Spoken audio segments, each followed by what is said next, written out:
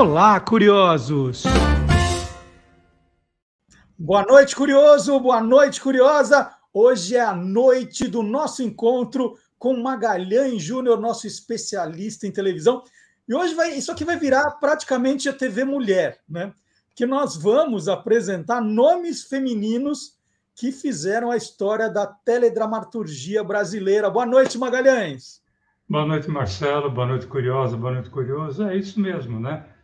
E quando se fala de nome feminino da teledramaturgia brasileira, sempre vem à mente nomes assim como Eva Vilma, Glória Menezes, Vida Alves, a do primeiro beijo na, na TV, Renata Sorrá, Suzana Vieira, Laura Cardoso, Fernando Montenegro, e também nomes de um passado mais recente, né?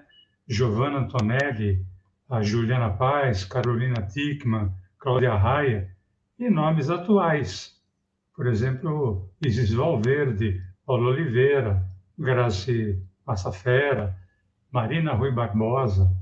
Bom, então quais, né? Quais dessas? Não dá para fazer um programa com todas. Então, quais não. dessas você vai apresentar hoje? Não fala ainda, não fala ainda. Primeira vinheta para o Magalhães Júnior.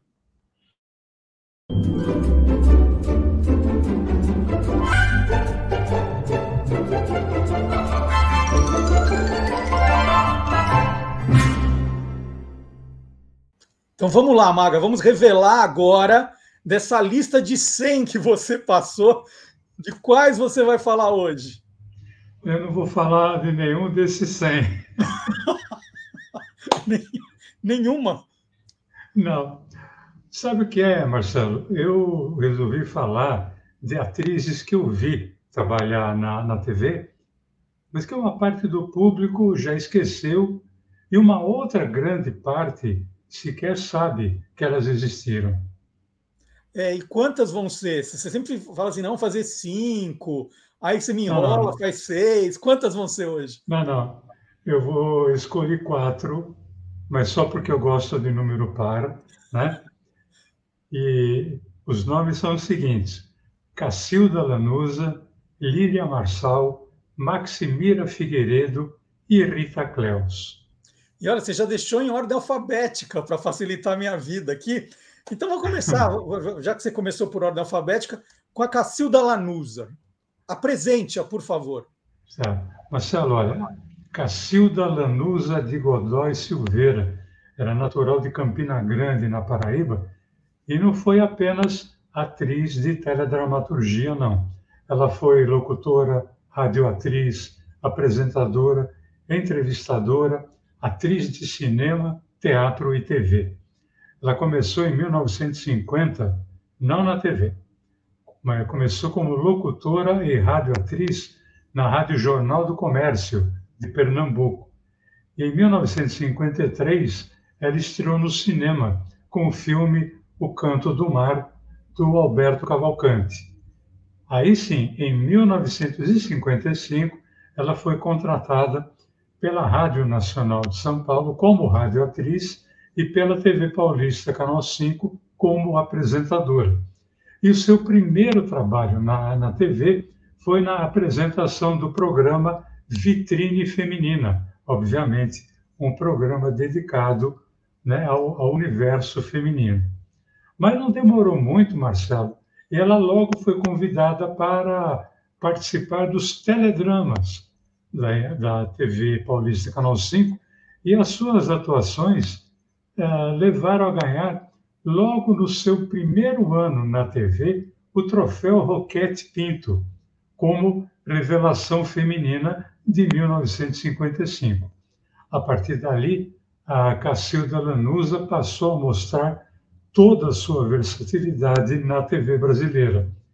Podia ser como atriz dramática, podia ser como atriz cômica, contracenando, por exemplo, com Manuel de Nóbrega no, no humorístico Clímax para Milhões, ou principalmente numa série chamada Intimidade. Nós já falamos dessa série aqui, ao lado de Daniel Guimarães, Walter Foster e Judy, em que ela, Cacilda Lanusa, juntamente com Daniel Guimarães, fazia o papel de um casal errado em contraponto com o casal certinho que era, eh, que era vivido pelo Walter Foster e pela Judy.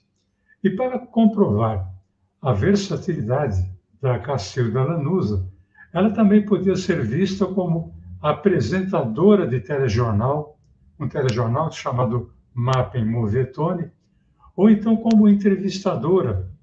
Inclusive, ela trabalhou no célebre programa O Mundo é das Mulheres, ao lado da Hebe Camargo, e também, Marcelo, como mestre de cerimônia do programa Teledrama Três Leões. Ah, e uma, uma artista né, com, com um currículo desse, Maga, deve estar cheia de curiosidades também, né? Você sabe que eu adoro. Né? Vou te pedir ah, eu também. Coisa. E eu vou sempre atrás disso. Né? Bom, uma dessas curiosidades é que ela teve um desejo em TV, que aliás ela não conseguiu realizar, que era de interpretar Joana Dark. O maior desejo dela era poder interpretar a Joana Dark na TV brasileira. E a outra curiosidade é que a Cacilda Lanusa foi uma das primeiras atrizes de TV a assumir uma postura de freelance.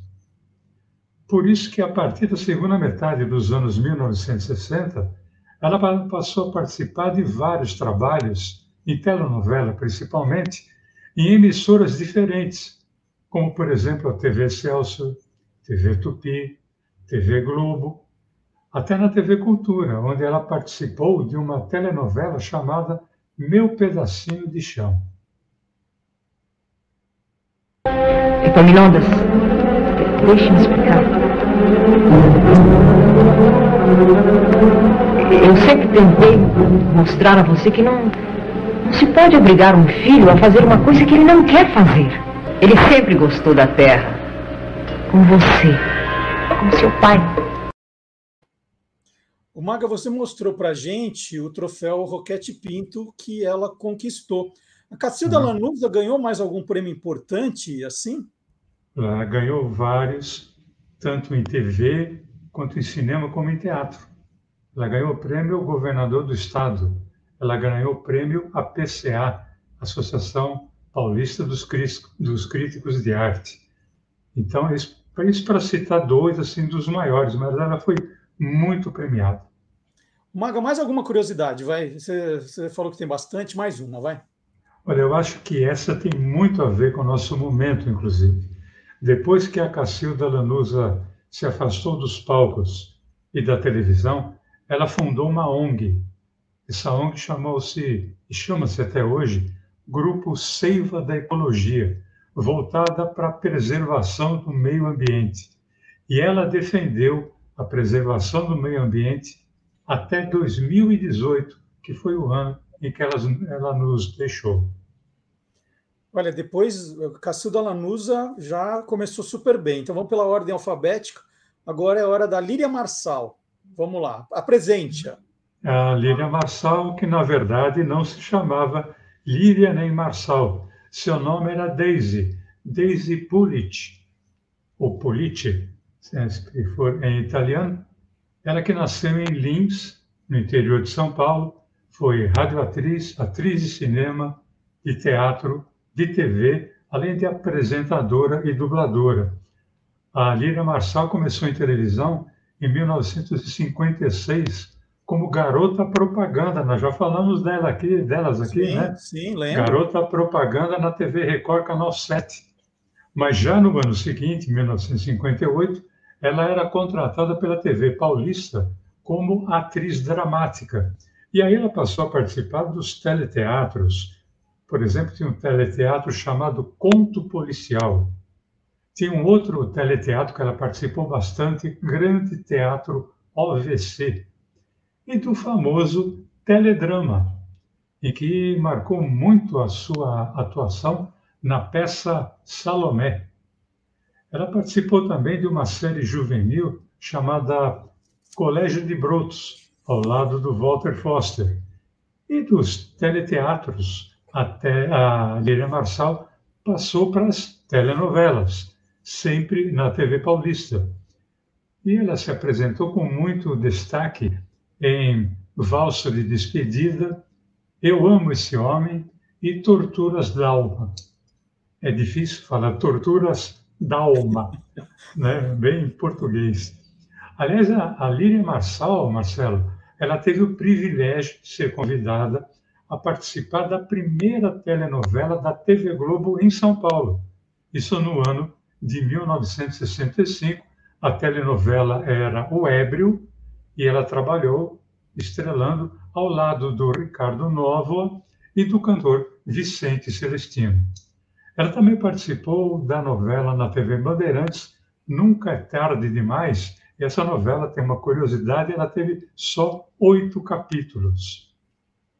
Não que fosse feita para isso, é que a novela não deu certo. Ela Pô, acabou... em oito capítulos não tinha como dar certo. oito capítulos não deu certo. Ah. Não é, não, não deu, não, não. Chega, nunca é tarde demais. Então, nunca é, é tarde demais para a novela acabar. É.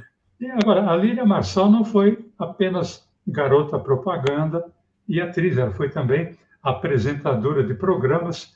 É, num deles, ela apresentou, ao lado do César de Alencar, o programa Pênalti Marquelli Supremo. Nós já falamos deles, desse programa aqui, programa de competição e variedades, que levava muitos craques de futebol no palco.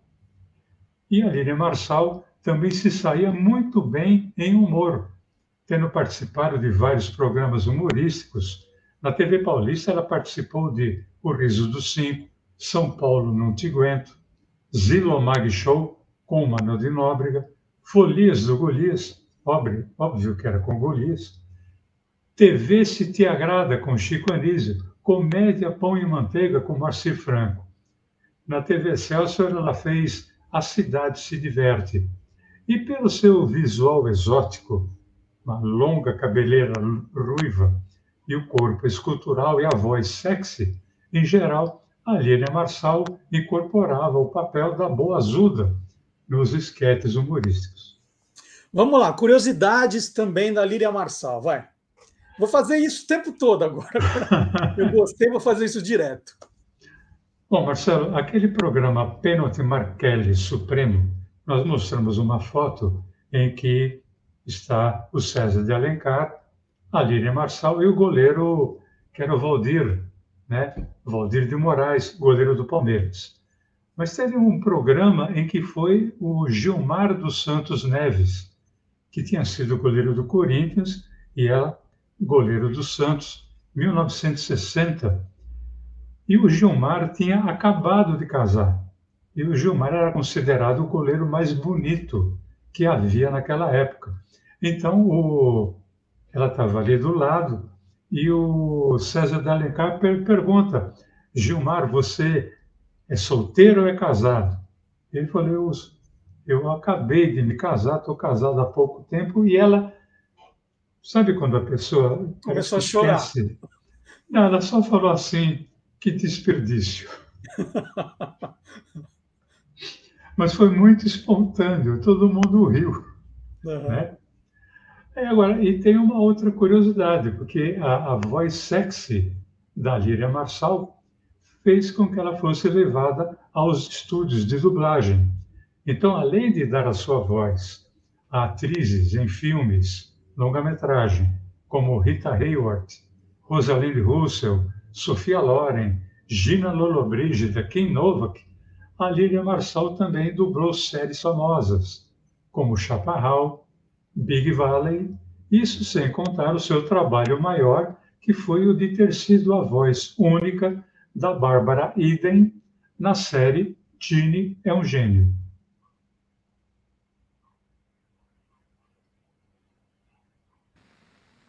Já que quero saber, eu estou sendo mimada. Hein? Qualquer um pode preparar um ovo e duas fatias de bacon. Oh, se você permitisse, eu poderia fazer tantas coisas por você. Poderia lhe dar castelos, ouro e. Um ovo, duas fatias de bacon, não muito fritas. Dei ao último amo uma frota de navio. E uma xícara de café. Por que não me deixa ajudá-lo? Maga, é, você chegou a trabalhar com a Lília Marçal? Não, trabalhar não, mas teve um, um encontro sem querer num estudo de dublagem por intermédio de dois grandes dubladores, o Jorge Barcelos e o Orlando Vigiani.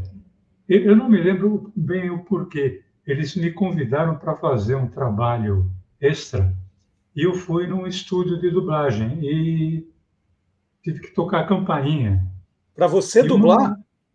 Não, não, não era para dublar, não. Era, eles estavam pensando em fazer uma radionovela. Ah, tá. Uma radionovela humorística.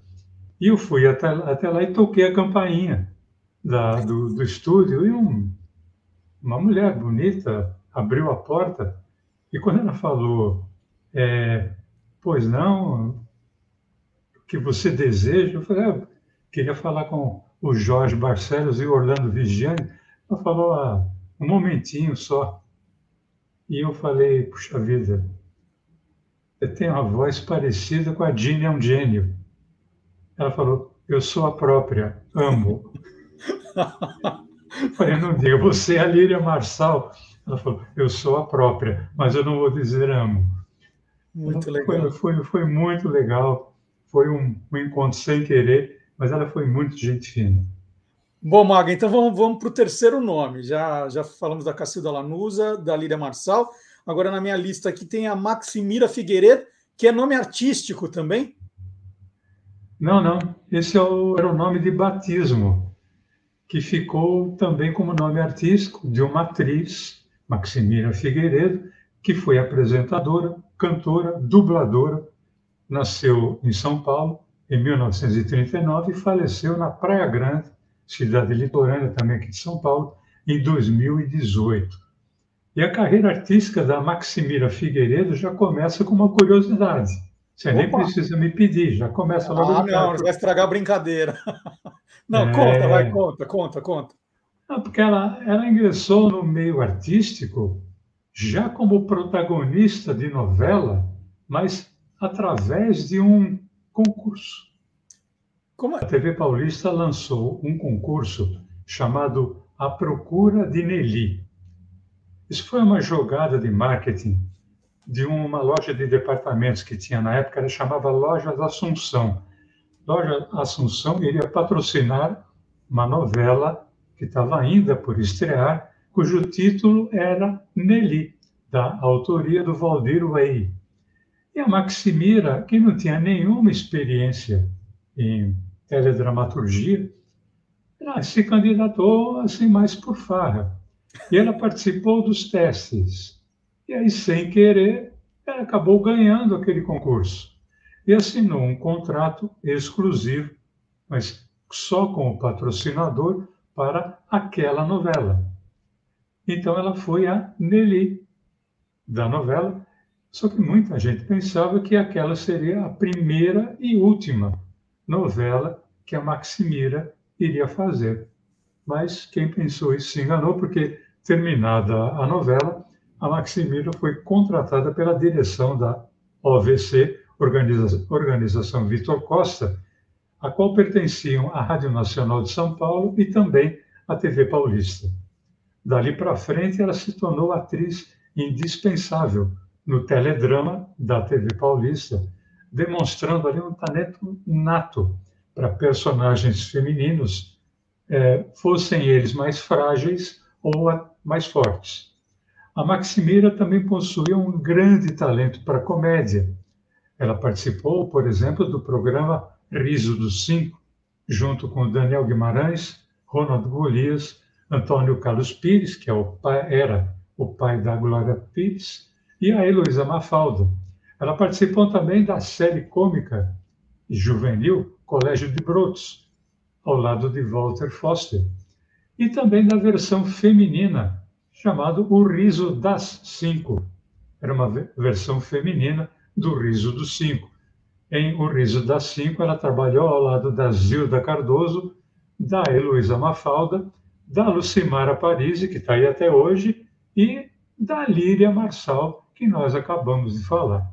Olha só que mundo pequeno, hein? Está vendo? E mostrando que ela era polivalente, ela também foi apresentadora infantil encarnando a fadinha da sessão Zastras da TV Paulista. Uhum. Isso sem falar na sua desenvoltura como entrevistadora, tanto é, assim individualmente como coletivamente, porque ela participou também daquele famoso programa O Mundo das Mulheres, ao lado da Hebe Camargo, da Miriam Ribeiro e da Cacilda Lanusa. Olha que mundo pequeno! e uma grande parte da carreira artística da Maximira Figueiredo esteve ligada à TV Paulista Canal 5. Mas ela também foi dubladora, dublou séries japonesas, séries que são chamados, chamadas tokusatsus. Tokusatsus. Assim, séries de heróis japoneses, tipo Jaspion, Changeman, é. Jiraiya, né? E, nossa, meus filhos, quando souberam que eu a conheci, eles ficaram alucinados, né? Ela também dublou muitos filmes é, e também na TV Cultura, ou para a TV Cultura, ela dublou uma série é, que era em forma de desenho animado, chamada Os Animais do Bosque dos Vinténs. Era uma série muito bacana e ela dava voz ao personagem da coruja. Ela participou também nos anos 70, 80 e 90 de produções de novelas em TV Bandeirantes, TV Record, SBT, e no SBT ela fez a grande vilã Rosália de uma novela chamada Pérola Negra. Eu te entendo muito bem. Até aceito o seu desprezo, porque, porque eu sei que mereço. Mas, por favor, não me negue a oportunidade de, de contar o que aconteceu. Me deixe expor meus motivos. Se ela trabalhou no SBT, com certeza você conhece a Maximira, né? Já teve contato com ela. É, eu, eu a conheci quando ela fazia a novela Pérola Negra e foi muito engraçado. Ela estava tem uma revistaria ali no, no SBT e eu a vi. Eu, obviamente, eu sabia quem ela era, mas ela não sabia quem era eu. E eu falei, Maximira Figueiredo, né? Ela olhou e falou, sou. Eu falei, olha, eu sou seu fã. Porque para mim eu você... fui seu namorado, ué. Você falou, eu fui seu namorado, você que não sabe não, disso. Não, não, não, não, não, não usei essa, não. É. Eu fui namorado de outra que eu vou falar. Ah, tá. Desculpa, vamos continuar. Mas eu falei, eu sou seu fã. Ela falou, meu Deus do céu, né? O que foi que você viu de mim? Eu falei, olha, eu sou seu fã porque você, para mim, é uma fada. E ela ficou meio assim, eu falei, você é a fada de sempre, você, você sempre a fada dos astrais, né?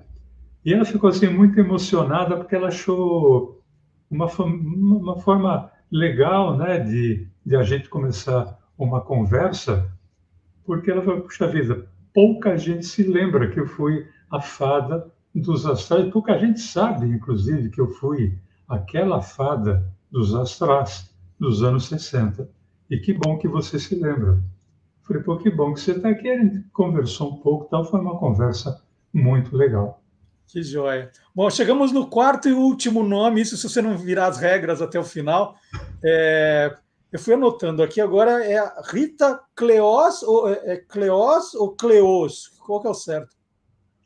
Nenhum dos dois. Porque o nome foi escrito Rita Cleos, Cleos. Ou, ou Rita Cleos. Ah. Ele era escrito e falado nessas duas versões. Eu não entendi a minha letra direito. Mas olha, segundo os amigos que trabalharam na TV Tupi, por uma questão de pronúncia facilitada, é, todos a chamavam de Rita Cleós. Cleós. Apesar que é Cleós, apesar que seu nome de batismo mesmo era Rita Shadrach, Shadrach. É, nascida, é, nascida em Blumenau em 1931 e ela faleceu em Curitiba em 1988. E de onde veio esse Cleose, então? Quando ela fazia teatro, isso antes ainda dela entrar para a televisão, ela interpretou a Cleópatra numa peça. Ela se saiu tão bem no papel de Cleópatra, que alguns colegas sugeriram, olha, você muda, né? Em vez de Rita Shadrach, muda para Cleo.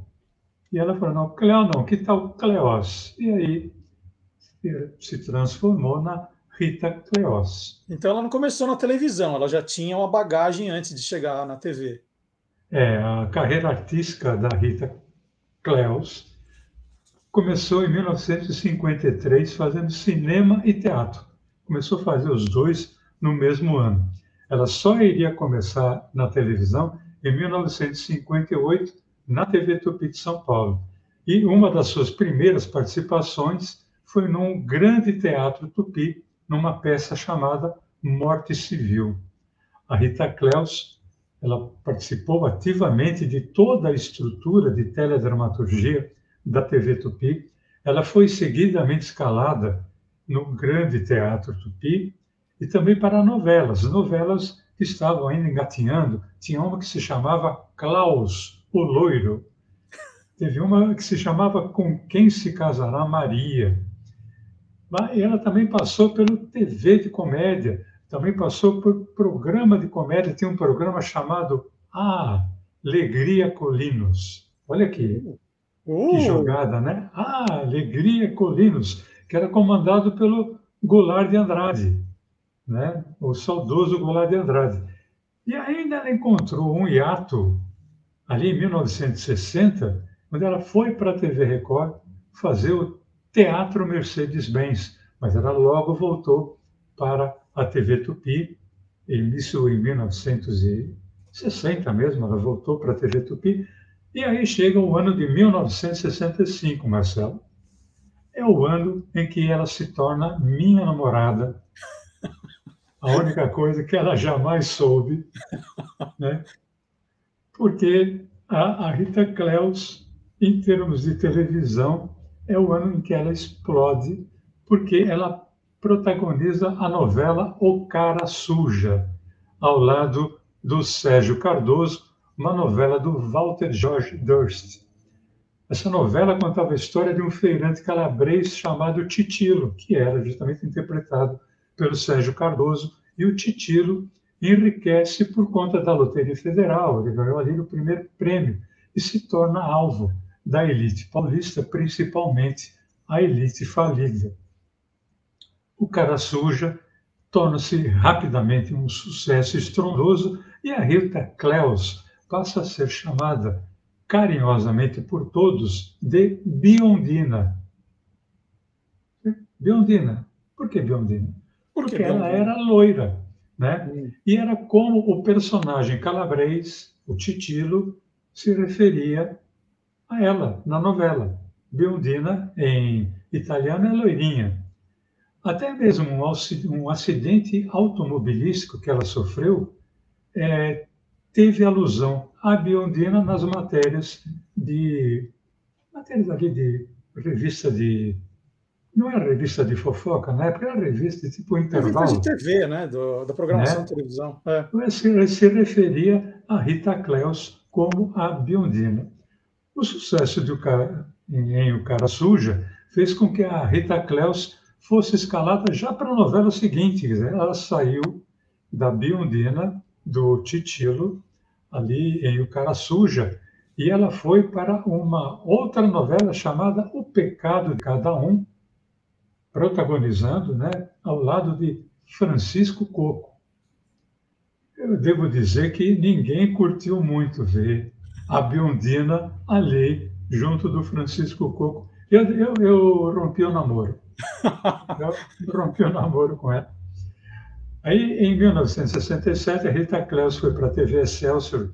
Ali ela participou de um outro fenômeno de, de novela, a novela Redenção.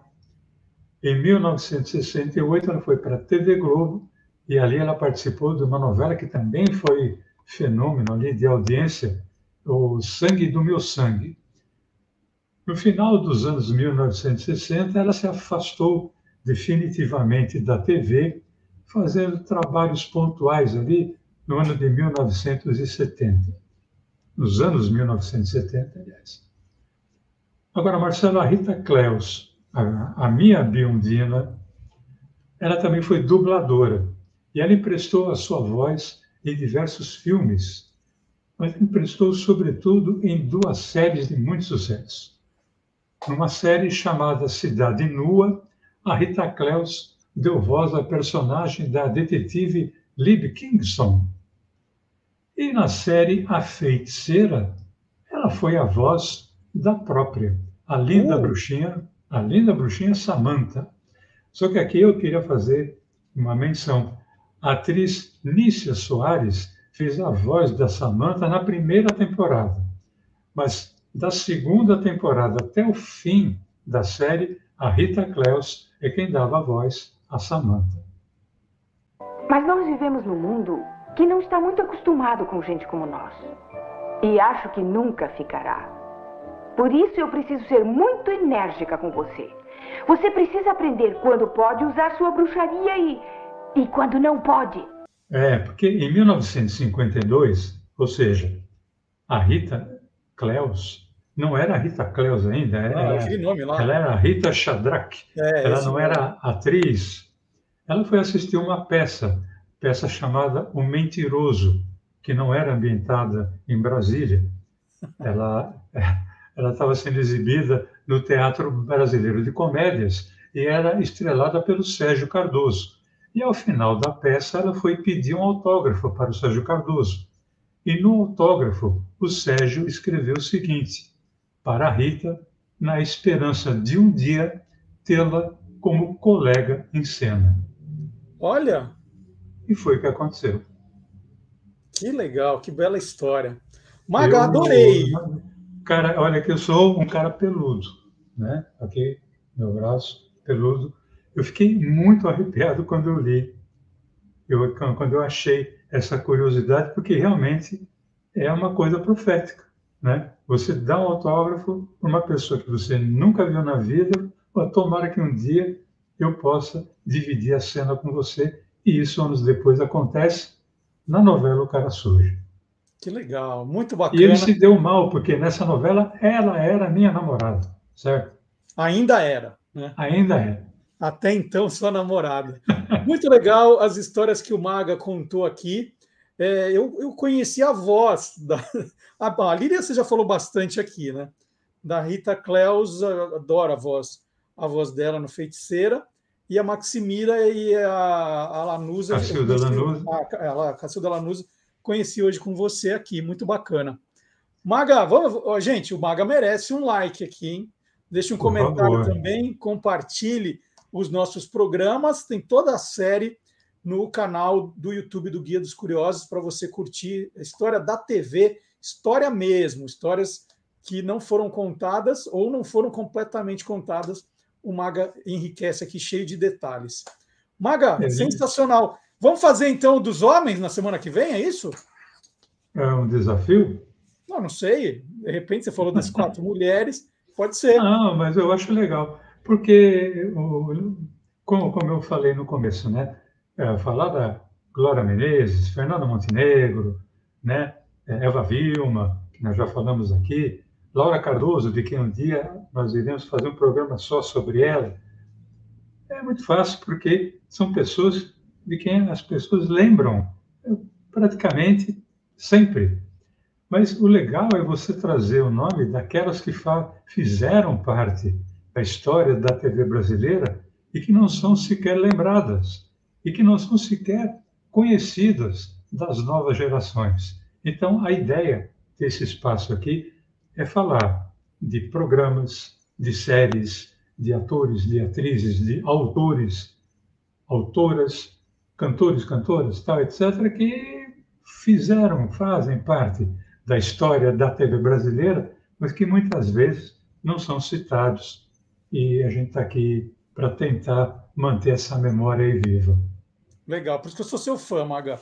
Por isso que toda quinta-feira eu estou aqui acompanhando quem te viu, quem te vê. Eu estou aqui na tribuna de honra, mas vocês estão convidadíssimos para acompanhar então na semana que vem mais um Quem Te Viu, Quem te vê. Todo sábado nós colocamos também um trecho do programa no Olá Curiosos das 10 ao meio-dia. Então, Maga, até quinta que vem. Um abração para você. Um abraço para todo mundo. Tchau, gente. Até, sim, até quinta que vem. Um abração, gente.